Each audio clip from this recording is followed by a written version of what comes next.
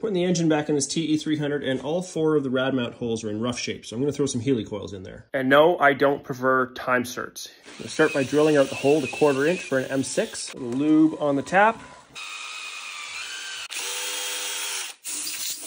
little red Loctite in there. Then I load the helicoil onto this little thing, slip it through the guide. This is important or else the helicoil will just kind of separate. Now the insert can go in.